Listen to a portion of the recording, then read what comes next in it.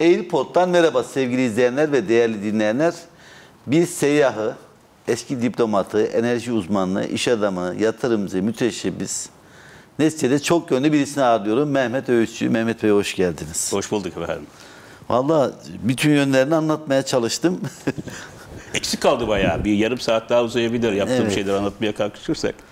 Şimdi hep enerji konusuyla gündemde oluyorsunuz. Bizim televizyonlardan da başka kanallardan da sizi enerji gündem olunca arıyorlar. Görüşlerinizi arıyorlar ama ben başka bir şey için sizi stüdyoya arıyorum. Çünkü çok da geziyorsunuz. Evet. Sadece gezmekte kalmamışsınız bir de kitabınız da var. Yaşam bir seyahattir. İçinde de güzel anekdotlar var. Sadece bu kitap değil, başka yönlü biliyorum. Dolayısıyla bu yaşam bir seyahat derken neyi kastediyorsunuz? Ya aslında bir e, hani bizim meşhur seyyahımız vardır Evliya Çelebi. Ona demişler ya yani rüyasında e, işte Peygamber Efendimiz'i görüyor. Dile benden ne dilersen diyor. Ya şefaat diyeceğine ya seyahat diyor. Adam alıyor başını gezmeye başlıyor. Herhalde e, bende de böyle bir şey oldu. Seyahat bir tutku oldu. Bir yaşam tutkusu. Felsefesi aynı zamanda. Çünkü seyahat ettiğiniz zaman bir hareket yaratıyorsunuz. Bir devinim yaratıyorsunuz. Siz hareket ettikçe dünya da hareket ediyor. Oturduğunuz yerde miskin bir şekilde kalırsanız, Evet. fazla hareket etmezseniz ne ufkunuz genişler, ne ilişkileriniz çeşitlenir, ne yeni yerler görürsünüz, ne beslenirsiniz entelektüel olarak olsun, ruhsal olarak olsun. Ve ben bu tadı aldıktan sonra tabii diplomat olarak çok gezdik. Onun verdiği bir Onun şey de var. ciddi bir katkısı var. Çok ciddi katkısı var. Yani ben hesapladım geçenlerde e, bir e, digital nomad dedikleri grupla tanışmıştım Montenegro'da. E, oradaki bir kız anlattı bana. Dedi ki ben şimdiye kadar 175 ülke gezmişim. Ondan sonra bunu tamamlamak istiyorum diye. Ulan dedim ben hiç buna bakmadım. Girdim Birleşmiş Milletler web sayfasından kaç ülke var? 197. Birleşmiş Milletler'in tanımadığı başka ülkeler de var tabii. Evet. Ben dedim hangilerini se- seyahat etmişim ülke olarak. Kentleri koysanız çok daha fazla belki ama 135 ülke gezmişim bugüne kadar. Dedim geride kalmışım. Demek ki daha sırada Devam e, en az 50-60 ülke daha var. Abi tamamlanacak. 197'ye ulaşabilmek için siz diplomat olarak ilk nereye gittiniz? Hangi ülkede bulundunuz? Ben ilk dış görevim Çin'di.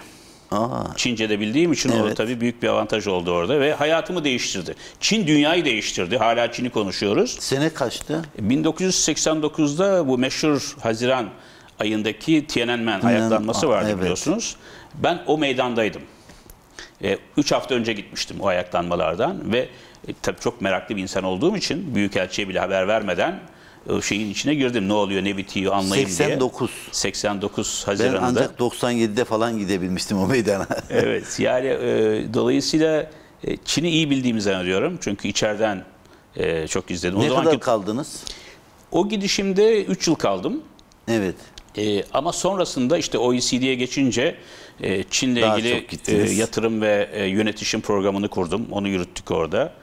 Bütün Asya Pasifik'te yaptık tabii Hindistan e, dahil olmak üzere. Ama Çin'e özel bilgim var. Hala da o dönemde kurduğum ilişkilerin, o seyahatlerde karşılaştığım insanların bağlantılarını kendi iş yaşamımda kullanıyorum. Çok işime yarıyor. O kadar güzel fırsatlar sunuyor. O kadar etkin bir şekilde kapılar açıyor ki bana orada. Yani yaptığınız hiçbir şeyin boşa gitmediğini ilerleyen yıllarda görüyorsunuz. Seyahatin o avantajı da var. Dolayısıyla seyahat, gezi önemli diyorsun. Çok çok önemli. Gençlere de onu söylüyorum hep. Hani bir toplantıda e, Forum İstanbul'u yapıyorduk burada Türkiye'nin 2023 vizyonu e, hususunda e, Yavuz Canevi ile beraber. Bir şirket, sigorta şirketi sponsor olmuş. Ondan sonra hanım işte çıktı, e, gençlerden bir platform oluşturmuştuk genç liderler için. Gençlere anlatıyor işte yaşam sigortası, şunu yaptırın, bunu yaptırın. Ondan sonra ben çıktım ya çok dedim özür dileyeceğim ama hanımefendiye pek katılamayacağım. Gençler varsa paranız dedim hemen ilk bileti alın yola çıkın. Bırakın sigortayı migortayı. evet. Gezin dolaşın. Özellikle 26 yaş altındaki gençler için Interrail denen bir şey var biliyorsunuz. Evet. Trenle bütün Avrupa'yı seyahat ediyorsunuz tek biletle. Onu yapın dedim. Cebinizde paranız yoksa boş verin. Bir yerde bulaşıkçılık yaparsınız. Ee, Bir yerde şeyde kalırsınız. Kilisenin bir yeri Takılırsın, vardır. evet. Öğrencisin, idare edersin. Ve ve şu çok önemli bence. Kişisel gelişim için seyahat olmazsa olmaz bir şey. Güçlüklerle karşılaşacaksın, uçağı kaçıracaksın, otelin parasını ödeyemeyeceksin, gidip orada kavga edeceksin birisiyle. Bunlar sizi şey yapıyor, hayata hazırlıyor. Hatta gençlere diyorum ki evlenmeden önce eşinizi, müstakbel eşinizi alın bir seyahate götürün. Ya çok bağlanacaksınız, harika tam istediğim kadınmış, kopup erkekmiş. gelecekler. Ya da aman diyeceksiniz ben bu kişiyle hayatta yapamam. Bu güzel tavsiyeydi. Ben şeyi merak ettim. Kitapta böyle bir bölüm açmışsınız da. Evet. Böyle bir deneyiminiz oldu mu? E, oldu tabii. Yani e, hem evleneceğim kadını e, seçmemde, şimdi biraz önce söylediğim tavsiyeye uydum kendimde. Çünkü e, eğer size uyum sağlayamıyorsa, siz ona uyum sağlayamıyorsanız bu ritmi çünkü çok sorunlu olabiliyor seyahatler. Yer bulamıyorsunuz, çok kötü bir otelde kalmak zorunda kalabiliyorsunuz, uçağı kaçırıyorsunuz, e, cüzdanınız kayboluyor, parasız kalıyorsunuz falan. Böyle bir ortamda sorun çözücü. Yetenekte mi yoksa hemen e, Parlıyor mu? parlıyor mu, ortalığı karıştırmaya başlıyor. Beni bunun için mi getirdin, bu rezalet nedir, bu oteli beğenmedim. Şimdi bunlar e, ölçü, insanların tahammül ölçüsünü de gösteriyor. Peki siz 135 ülkeyi gezerken kafanızda belirli bir plan, program var mıydı? Neye göre bu sayı buralara geldi? Şimdi bir tabii dışlarındayken iş için gidiyordum. Evet. O toplasanız 30-35'tir belki e, görevli olduğunuz yerler. İkincisi dışlarından sonraki hayatımda OECD'nin ben bütün dünya ile ilişkilerinden sorumluydum. Non-member Evet. ülkeleriyle. Onun için çok sık giderdim misyonlarla bu işe. Sonra da şimdi çok sık konuşmak için davet alıyorum. Yani e, işte en son e, Roma'da NATO Enerji Zirvesi'nde e, yönettim. Ondan önce Marrakeş'te konuştum bir yerde. Ondan öncesinde e, Tokyo'daydım, Pekin'deydim, e, Los Angeles'taydım. Her yerden davetler geliyor. E, dolayısıyla o gittiğim zaman önce bir iki gün işimi yapıyorum. Ya da iş için. Şirketim var, yatırım danışmanlığı, enerji danışmanlığı yapıyoruz. Davet ediyorlar, iş için gidiyorum. Bir günde işimi bitiriyorum. Önüne ve arkasına üçer dörder gün koyuyorum. Ondan sonra o kentleri, çevresini geziyorum. Yakın coğrafyaları geziyorum. Yani mutlaka bir şeyle bağlantılı kılıyorum onu. Çantamı alıp hadi ya ben çıkayım da biraz e, azizlik Peru yapayım, oradan e, Güney Afrika'ya, Botswana'ya geçeyim demiyorum. Ya da dostlarım davet ediyorlar, onlara gidiyorum, onlar bana geliyorlar. Böyle bir hayat anlayışı geliştirdiğiniz zaman zaten o akıyor kendi şeyinde, mecrasında. Peki bu kadar ülke gezdiniz ya, sizi en fazla cezbeden veyahut da şaşırtan hangisi oldu? Şimdi şaşırtan belki Hindistan diyebilirim. İki olmadı, iki ay olmadı. Bir ay oldu. Bir ay önce oradaydım. Mumbai'de başladık. Ondan sonra Yeni Delhi'ye gittik. Oradan Rajasthan'a geçtik. Agra'ya gittik. Evet, şey, e, muazzam Taç bir Mahal'i. Taç Mahal. E, tabii muazzam bir medeniyetin izlerini e, takip ediyorsunuz. Öte yandan muazzam bir yoksulluğu, sefaletle görüyorsunuz bunun içerisinde. E, Beni en çok şaşırtan taraf e, Hindistan nüfusu içerisinde yaklaşık 300 milyona yakın Müslüman, var. Müslüman var. Evet. Bayağı büyük bir Müslüman Ve nüfus var. ticarette uğraşıyorlar büyük harf. Ticaretle uğraşıyorlar ama büyük bir çoğunluğu yoksulluk içerisinde. Yani Hindistan'daki sefaletin önemli bir kısmı Müslüman. Müslümanlar arasında. Buna çok üzüldüm. Yani bu tabii şey Ticaretle uğraşmaları da işte bu biraz bürokrasiden uzak tuttukları için. uzak tuttukları için belki yapmışlar. Şeyde Azeriler de öyledir mesela İran'da. Orada da muazzam bir Azeri nüfusu var biliyorsunuz. Çarşı Evet. Azerilerin elindedir. En sevdiğim coğrafyalarda işte Toskana dediğim gibi yani sevilmeyecek gibi değil orası. Fransa'nın Provence'ını çok severim. Nice'in arkası, Saint Paul de Vence ve ötesi.